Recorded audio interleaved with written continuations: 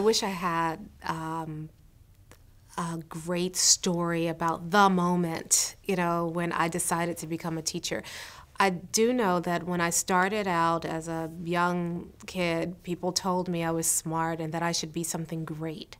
And I thought something great was an attorney or uh, a mogul, you know, a business mogul, or a Pulitzer Prize winning journalist. And so when people would ask me what I wanted to be when I was a little girl, I tell them I want to be a lawyer. And they pat me on the head and say, yeah, that's, that's a future worthy of your talent, right?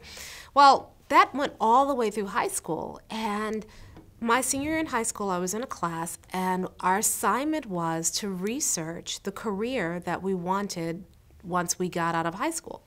Now, I've applied to college, I've already decided journalist or attorney because that's glamorous, it's sexy, right? You see shows about attorneys and journalists all the time, and they're always sexy, right? They're always hot. So I thought that's what I'm gonna be. And so I started to research those careers, but something whispered inside of me, you're going to be a teacher. And I remember when I started telling people, they would say, "A teacher, you you're more talented than that. You you you don't want to be a teacher." But the moment that I made that decision, the rest of my life made sense. And I've never regretted it. I don't think there's a, a, career that's sexier.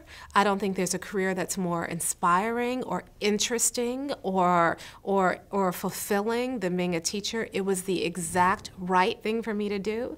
And I don't think there's another career that was worthy of me other than teaching. So people look at me all the time and they say, teacher. And I say, yeah, teacher. Yeah. And I'm the luckiest girl in the world. I feel sorry for you lawyer. I feel sorry for you, journalist, because there's nothing more. It, it's there's just nothing like it. There's nothing. There, there, nothing else would have inspired the passion that I have other than teaching. This is the exact thing that I'm supposed. This was what I was meant to do. Most teachers have a model of a teacher who made a difference for them, and that's why they go into teaching. And I did as well. I had a couple of teachers who periodically would say to me, Jeffrey, that's a really interesting idea. And I felt so alive in that moment. I felt so valued. I felt like my mind was a worthy machine inside of my head and that it actually, what I was thinking had value and had value to somebody I cared about. And that was really important to me. Um, wanting to be able to create that context for other people is a really important part, as well as understanding that schools are not incredibly well organized institutions and that we all have to struggle against what should be a better institution within which to work. So it's an interesting challenge. How do we help every kid learn in an institution that was never designed to help every kid learn? As, a, as an undergraduate student, what really sparked my interest in becoming a leader, I read as an undergrad the, the lives of two men, Dr. Martin Luther King Jr. and Malcolm X. And once I learned them, I wanted to be like them within the realm of education. So I couldn't, I, I could never fill the shoes of either man, but what if I can lead effectively in the spirit of both men? So that inspired me to want to be a leader because prior to my introduction of the two of them, I was a follower. I was a follower of some of the worst people. But it made me a leader of, of young people and a leader of educators. I wanted to be a teacher my whole life. Everything about me was about being a teacher. I love the idea of learning. I love being in school, I love being part of school, I love being the teacher, I love being the learner. It's amazing when your brain can add stuff. And I like to watch it in my students, and I like to watch it about me. Um, I've had a very strong vocational calling for a long time. But I can remember sitting in my third grade class watching a masterful teacher by the name of Joyce Cromer teach and thinking in my head, I'd like to do what she does.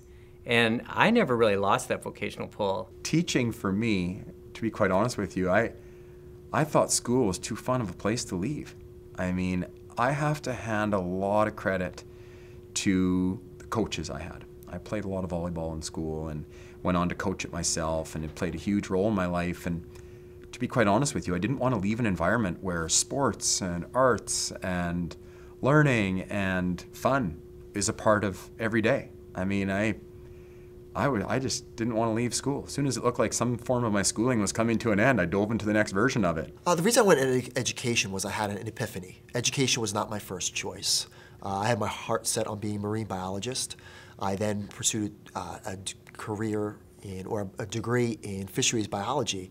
And while I was pursuing my master's degree, I was a graduate teaching assistant. And coming from a family of educators, I, I swore that education was not for me. But while I was snorkeling in streams in western Maryland, I had the opportunity to teach undergraduates biology. And it, it was just from the first moment I, I really found my passion. And, and I knew that my, my career or direction in life was not going to be in the sciences. It really was going to be working with students, helping them follow their passion, find their passion. And from that point on, I, I redirected my focus, moved back home, and pursued a career in education.